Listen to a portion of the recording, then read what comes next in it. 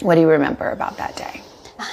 I remember a lot. The morning it felt like just a regular school day, but I started hearing things and things started happening that made my my fear grow. As the day went on, it grew more. My fear grew more.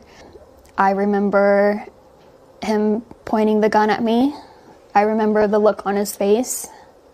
I remember the gun going off. I remember feeling something.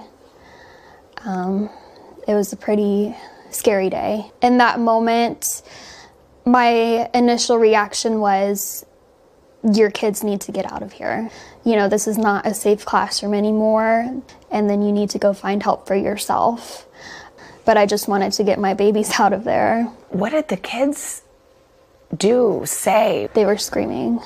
I think they, they knew as well that they had to get out of there, but they were extremely frightened and screaming.